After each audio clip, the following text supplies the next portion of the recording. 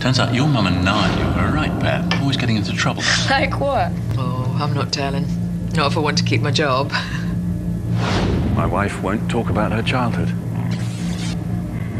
What's she hiding? The Secret, a two part drama, starts next Saturday at 9, BBC One.